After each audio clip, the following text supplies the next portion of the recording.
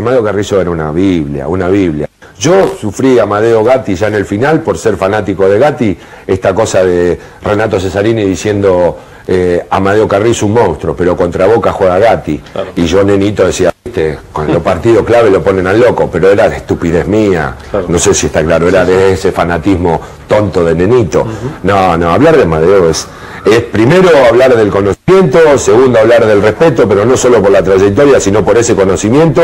Y tercero, hablar de algo que en la Argentina se está perdiendo. Desgraciadamente. Y en eso mucho tiene que ver lo mediático, porque hoy los pibes por ahí quieren imitar más a Peter Schmeichel que al mono Navarro Montoya, que al flaco Vivaldo, ¿no? que son más o menos continuadores de una línea, ¿verdad? Gatti y los nenitos no lo vieron. Entonces se ha perdido mucho de eso, y mucha culpa de eso lo tienen los directores técnicos. Estos avaros de la angustia, que ese tipo de arqueros trataron de ralearlos y de perderlos y de sacárselos de encima porque ellos se sentían más seguros con los otros. Avanzadas arqueros que en general han jugado con los pies fuera, arqueros jugadores. Desde los cambios de reglamentación, la idea, desde, desde aquellos que supuestamente saben todo del fútbol, es que el arquero tiene que ser cada vez más hábil con los pies. Es un recurso importante. Sin embargo, especialmente en el fútbol argentino, pareciera que no se trabaja con eso. Está lleno el fútbol argentino de arqueros que no pueden manejar los pies. Bueno, ahí, ahí entrarían dos temas de discusión. El primero es cómo se trabaja con los arqueros con los pies desde chico. Sí. Pues yo te aclaro que a los 20, 21 años de zurda no aprendí a pegarle. ¿eh? No, está bien, pero yo Podés no, mejorar. Seguro, Pero- no me refiero a sacar del arco, sino a poder No, jugar, no, jugar, a sacar, a a- jugar. no, O te la tiran atrás. Claro. O te la tiran atrás. Tener con la zurda, que no es tu pierna en este caso, ¿no? Tener la dirección de que la pelota caiga dentro del campo de juego. Sí. Que no sea nada más que como vino en la pierna inhábil, es platea 34 sector 5. Sí, sí. No sé si está claro. Bueno, no se trabaja. Y lo que se trabaja, se trabaja más que nada para que te saques el compromiso de encima. Porque ahí entra lo que hablábamos anteriormente con el miedo de los directores técnicos. Sí. Después, el uso de las piernas en los arqueros debido a estas circunstancias y a los temores no agiliza el juego. No agiliza el juego. Lo que sí está muy claro y estaba muy bien lo de los seis segundos, porque si vos permitís que una pelota atrás se la des al arquero, el arquero la agarra con la mano, te asegurás que el arquero de arriba en seis segundos la ponga otra vez en juego. Sí. Eso me parece perfecto. Ahora, que se la den y no la pueda agarrar con la mano, es pura y exclusivamente provocar un gol, una ridiculez, una torpeza, un... uh, O que la revienten entre los defensores. me parece horrible. Como me parece horrible el hecho de que cortó un centro y pueda salir corriendo antiestéticamente con la pelota abajo del brazo, como si, viste, estuviera con diarrea, y está todo el equipo de en el área, la tira a 50 metros al pobre tipo de su equipo, compañero, que está solo, y todos los demás tienen que salir corriendo a ver si lo ayudan. Estéticamente al fútbol, eso no le hace bien. Estas son decisiones que no me gustan, no le sirven, ni al arquero le sirven. Ahora, indudablemente, indudablemente, por ejemplo, Luchetti, Sí. Luchetti no solo le pega muy bien a la pelota, sino juega muy bien con la pelota. Y vos te das cuenta que es de esos arqueros que cuando vienen atrás tiene el segundo de más para pensar qué hace. Sí. No tiene decidido una vez que la pelota arrancó hacia él a cualquier lado. Entonces vos decís, este debe jugar bien. Eh, ¿Qué arqueros crees vos que están por encima de la decisión del técnico que se animan? Porque esto le corre al arquero lo mismo que a los jugadores de campo. Si vos querés sobrevivir y solamente pensás en eso, dentro de tu mediocridad vas a cumplir con lo que quiere el técnico. ¿Crees que hay arqueros que puedan transgredir eso un poco? Sí, el Mono Burgos, Sí. el Mono Burgos se pone en un tiro libre de un lugar, lo vimos en la Copa América en Paraguay, vino Rivaldo, se la cayó allá, y lo, lo ve que se levanta la manga, sigue masticando el chicle, agarra la pelota así, mira para adelante y los mira todos diciendo, ¿qué pasa? ¿Que no me para hacer un gol? Vamos. ¿Vamos? Vos decís, mamita, qué personalidad este muchacho. Entonces, eh, eh, Ángel mismo, Sí. comiso. Son esos tipos que van más allá de la idea del técnico. Sí. Si bien Ángel hoy la revienta un poco más de lo que juega, pero esto también tiene que ver con que River decide jugar más con tres en el fondo que con cuatro. Sí. Ya tenés uno menos. Y de tener uno menos de los otros dos que juegan, salvo el libero, son muy pocos los que quieren la pelotita encima. Entonces, bueno, hay una decisión. Y desde ahí, desde esa decisión, él va a tener que tomar este, resoluciones. Pero vos decís, este tipo va mucho más allá de, de la idea de juego. El que ha mejorado mucho es el Pato Abondancieri. Sí. Muchísimo. Y el otro día me contaban que mucho tiene que ver el que trabaja con Tavares, que vive para los arqueros, que es un uruguayo y que encima lo ha hecho mejorar muchísimo en, las salidas aéreas. Otro gran defecto de los arqueros argentinos. Mm. O sea, el arquero argentino en su historia no ha sido un arquero muy, muy contenedor de centros y de esos que vos veías y decías, acá está. Goyen, sí. Uruguayo, ex basquetbolista, tenía esos tres pasitos de más que tenía el basquetbolista. Pero no es solo los tres pasos, es saber elegir los lugares. Sí, y también tener necesidad, porque el fútbol argentino es un fútbol en el cual se patean mal los centros y se cabecea muy poco en los últimos años. Con lo cual, ese defecto especialmente cuando van a jugar afuera. El Flaco Roa, por ejemplo, era este, un arquero de los que mejor salía en el momento del 98, pero cuando jugó, cuando jugó contra Inglaterra quedó en evidencia que salía también del arco. Claro, pero vos fíjate que hoy, hasta se cambió la manera de tirar los centros, ¿no? Sí. Entonces, mucho tiene que ver la pelotita. Mm. Esta pelotita es un globo, en la playa se la volvés y decís, no, mira, me compro un barquillo, me quedo sentado comiendo un barquillo. No querés ni jugar con esta pelotita. Entonces, ojo con eso. Pero ¿qué pasa? Hoy el centro que es izquierda, frente de arco allá, antes era un derecho, comba para adentro. Eh, un zurdo, perdón, comba para afuera. Ahora es un derecho, comba para adentro. Todo el equipo acompaña para adentro. Acorralan al arquero. Sí. Y los arqueros no van. Por temor a chocar, porque no salen. Cuando tiene que ser al revés. Si a vos un derecho te va a meter el centro así, la defensa empuja. Situación de Orsay. Mirás al lineman y le decís, mirá la línea, papá, eh, levantá la, la bandera, eh. Y vos fuera, fuera, tres pasos adelante, fuera, fuera, y ¡bum! vas de frente. No hay mejor pelota para un arquero que la que viene así. Sí. Es absolutamente diferente a como venía antes con el zurdo que se iba allá. Porque entonces ahí sí vos tenés que ir, y ahí viene el que te pisó el pie, el que te bajó un brazo, el que te corrió el pantalón. Millones de cosas que no se ven en dos segundos y que quedaste ahí en el aire, porque cada vez la tenés más lejos. Entonces vos decís, estas son falencias muy grandes los arqueros. Bueno, Goyen no solo eran los tres pasos de básquet, era el lugar donde le iba a elegir. Y yo vi un tipo al cual después se lo escuché a Poletti y recordando dije, esta era la clave y yo no me di cuenta, era un Gordon Banks, el inglés. Ese tipo elegía el lugar donde ir a buscar el centro. Entonces vos veías que salía el centro y vos decís, ¿dónde va el arquero? Al punto más alto. Pin. Claro, todos los demás esperan que caiga la pelota, otro gran defecto. Como arquero, el Chilaver que yo vi en San Lorenzo, era un arquero de que vos decís, un gato. Un gato. El Chilaver que vino a Vélez era casi ese mismo gato, con cuatro años más y con un paso por Europa. Lo cual, ya el gato no caía en la ventana porque se había agarrado la cola. Entonces vos decías, este aprendió todo, todo. Ahora, todo lo otro de Chilaver es consumo de gilada. Seguro. yo me podía enojar, el tú no has ganado nada, el quien me habla, los escupitajos de los periodistas, pero pongámonos dentro de una cancha y cuando un arquero llega al lugar que llegó Chilaver, en el cual el que lo enfrenta dice, mamá, qué problema. Cuando en realidad mano a mano quieren quedar todos los delanteros. Todos. ¿Verdad? Bueno, vos te quedabas mano a mano con Chilaver y era un problema. Entonces ahí ya esos tipos hay que, yo no me sacaría el sombrero, pero digo reverenciar, ¿viste? fíjate que en los últimos 5 o 6 años, sí. 7 años, los dos mejores arqueros que tenía este país, o los tres mejores, eran extranjeros. Sí. ¿Chilaver? Sí. ¿Córdoba? Córdoba, ni hablemos. Córdoba, señor, hay que ponerse de pie. O sea, en Córdoba hay que mirar cosas cuando jugó en el fútbol nuestro, ¿no?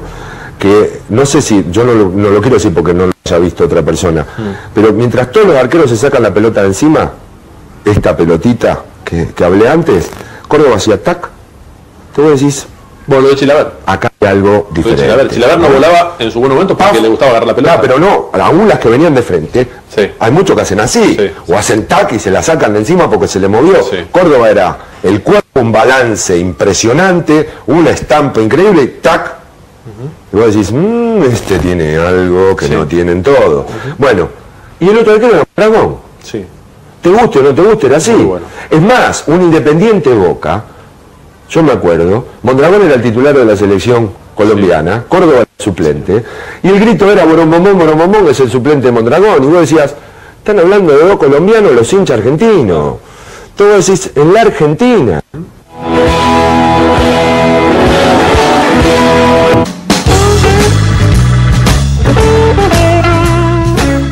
Uruguay tiene, este, pasan los años y sigue teniendo un gran arquero. Uruguay hoy tiene un arquero de unas características que ruego a Dios, y en este caso a Casal, que es el dios uruguayo, que no le queme la trayectoria. Por esta cosa de los negocios. Porque, viste, a los futbolistas hoy lo convencen, y dicen, bueno, por ahí no jugás acá, pero hiciste un contrato bárbaro y se pasa dos años de suplente y vos decís, qué pena que este tipo no esté jugando. Carini me parece de esos arqueros uruguayos desde chiquito Mazurkiewicz. Sí, totalmente. Arquero chiquito Mazurkiewicz. Bueno, que vos decís, estos son diferentes, pero en todo. En todo. Un chico que con 18 años se ponía esa camiseta y se ponía todo el estigma del arquero uruguayo en un centenario que arde y que provocaba que quedaran afuera de mundiales, perder partidos con Bolivia, de local, y vos decías, no, este, este juega, llega. Ahora, va la Juventus. Ya no es tan fácil. ¿Eh? Que Peruzzi, que ahora pagaron a Bufón 46 millones de dólares un arquero. Basta, van, a romperlo lavarropa, muchachos. En Italia van a romperlo lavarropa con la plata. Ese es un caso, el de Bartés. El tipo ha jugado de manera increíble los partidos más importantes de su vida. Pero lo agarrás semana por semana y, cuesta un huevo levantarlo. Sí, ahora está mucho más regular. Mm. Lo que pasa es que nos comimos con esta explosión del fútbol inglés, nos comimos esas tres semanas en las cuales hacía todo como yo. Entonces vos decís, mmm, este es el arquero del Manchester. Claro. Eh, con Blanca adelante encima. Por las dudas, si lo ayudar. No, inclusive, no solo con Blanc, con el mejor momento del Manchester, porque el Manchester pierde el campeonato pasado, pero era un equipo bárbaro. Digo con las macanas que hacía Blanc. Claro, bueno, pero, pero juegan, viste juegan a otra cosa. No es tan fácil meterse ahí en un equipo que te juega a 50 metros de tu arco. Y que encima todas las pelotitas van por abajo. Ahora cambió la manera de jugar, ahora es mucho más vertical con Van Nistelrooy. Pero antes, todas las pelotitas iban por abajo y era todo así, todo así todo el tiempo. Y vos decías, juegan allá todo el tiempo, ¿cómo hace? Donde te meten dos contragolpes, está fusilado. Y el tipo se la bancaba bastante bien. Lo que pasa es que esas dos semanas o tres quedaron esos goles, viste, hoy te los repiten y te los repiten y te los repiten entonces llega un punto que ese, ese repiqueteo termina con... Yo no creo que sea tan mal arquero Bartés. No creo. Este, es más, creí que en el Mundial iba a tener... Este, pero bueno, toda Francia fue un desastre. Entonces... Eh, de hoy, de Argentina. En el Mundial discutíamos el Monoburgo a muerte tenía que estar. Este, pero ¿qué, ¿qué, más hay? Pues una discusión de gusto, si querés, o de, o de características. Pero tampoco era qué disparate que no esté el Monoburgo. No, no, no, no, no. Pero a veces entra a tallar también lo de los técnicos. Yo creo que para mí el, el arquero es un tema secundario. Y esto no le estoy faltando el respeto a Pablito, ¿eh? caballero, al cual he tratado, conozco y me merece eh, la mayor estima. Eh, creo que va, va mucho más allá en la cabeza de Bielsa la idea de quién juega al arco. Ajá. Este, es más, debe haber pesado el no comerme un garrón más del que me pueda llegar a comer si no clasifico por el arquero. Que haga macana. Porque está esta cosa instalada del serio, ¿no? Eh, ¿Qué pasa por la cabeza del arquero? Eh, hay muchos, inclusive grandes arqueros del fútbol argentino, que prefieren correr el riesgo de volar y tirar la pelota al córner a cambio de un gol después del córner, en lugar de bajar la pelota, agarrarla y salir jugando. Le seduce mucho las fotos, es la espectacularidad, es el estilo, son temores. Yo te digo lo que, lo que sentía yo, o sea, eh, está bueno volar, ¿eh? Sí. Está bueno. Y las que vienen así por atrás tuyo, que si tenés potencia de pierna y llegás y haces tac, cuando caes y sentís el oh, bueno, bien, ¿no? Es bárbaro, te levantás un fenómeno. Pero después viene el corner. Después cuando te acostás en tu casa venís y decís, Ah, podría haber bajado así. Eso te lo van dando los años. Este, en algunos por ahí aún con los años su espectacularidad ha crecido. Luis Islas. Sí, el mono, Navarro Montoya. El mono Navarro Montoya es de los que por ahí vuela, además tiene un mono muy. Comiso también. Comiso hoy resuelve diferente a cuando resolvía más joven. Totalmente. Sí. Hace más espectacular todo. Sí. Pero bueno, volvemos a la instalación en este mundo. Sí. Bueno, ese es el gran mérito de Córdoba. Córdoba desluce su propio trabajo. No, lo hace tan sencillo. Claro, para mí lo agranda. Lógico. pero para la gente decir, el tipo no se tira nunca, claro, pero lo mismo que patean el ángulo, le patean a él y a otros arqueros. Ah, sí, Córdoba, un, Córdoba, un caso. Hablemos de lo de afuera que no, que no vemos, que no vimos cotidianamente nosotros y que, más disfrutaste vos. a mí el gordo Schmeichel, sí. en, en la Eurocopa 92, Impresionante. Pasen varias atajadas del gordo Schmeichel de esas, porque les digo que ahí es donde vos ves que un arquero eh, llegó a su punto máximo ahí, ¿no? Sí. Después lo llevó con el Manchester este, en todo lo que fue los campeonatos ingleses, no tanto en las Copa Europa, porque el gordo es medio fastidioso, una vez hablando con Acosta por radio me decía que son de esos ¿Quién arquero fastidioso que lo peloteas, le metes un chanfle y se cambia y se va? le deja el arco, ¿viste? Pero hoy lo vemos de grande al gordo, ¿no? Ahora, recordemos ese del 92 y hay pelotas al lado del palo donde otro ni llega y el pum las aprieta. Entonces, era Mayer, Sí. Bueno, Mayer define la final del 74, eso no se discute. Absolutamente, absolutamente. Pero ese era otro arquero que tenía una condición física natural, unas piernitas así flaquitas, es fibroso. Lo vi a Mayer pelotear al arquero de Alemania en el Mundial Sí. 98, Sí. porque era, estaba dentro del cuerpo técnico, salió en pantalones cortos, con botines y unos soquetitos, tiene las mismas piernas cuando jugaba. Entonces decís, bueno, esto ya es una virtud de, de- Natural, de gen, ¿viste? Por vos decís, qué bárbaro, este tipo está igual. Bueno, Mayer era otro arquero que también. El polaco Tomasewski, Tomasewski, sí. otro arquerazo. El hombre que estrenó, por, la, por algunos dicen que le dan otros nombres, es el hombre que estrenó en Argentina las tiritas negras para, el sol. Exactamente. En el 77. Cancha de boca. Bueno, este, después Locobati imitó un poco eso. Exactamente. Eh, por ejemplo, cuando no le dan tanta valía a los arqueros, Sí, yo siempre digo que recuerden Holanda. 74-78. sí. ¿Eh? Jugaba Jungblum, que hacía así, yo no sé si miedo porque tenía un, ten- un tic nervioso. Sí. Bueno, ese era un arquero que en el barrio no lo pone. No. En el barrio le dicen, mira, haz el asado, dejate joder. Ni al no te- arco. No te cambié, Ni no, al arco. traje la pelota. No, deja, Jungblum, haz el asado, no joda. Bueno, ahí tenés la importancia de un arquero. Holanda con otro arquero Sí. terminaba de otra manera.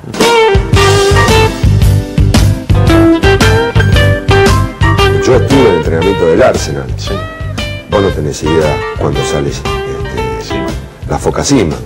Los nenes están con, no sé, Patri Vieira y sale Siman y lo dejan a Patri Vieira con el papel y lo van a abrazar a Siman. Es un paradigma para Sí, ellos. sí. ¿eh? Guarda, no es gratuito que sea todavía el arquero del Arsenal. No. Un equipo que invirtió más de 500 millones de libras esterlinas en los últimos seis años.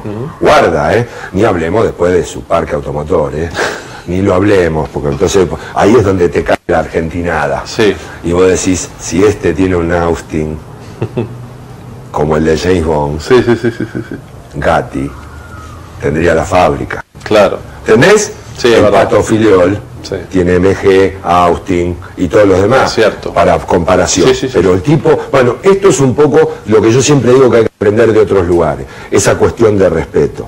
Y la trayectoria después los enaltece aún más.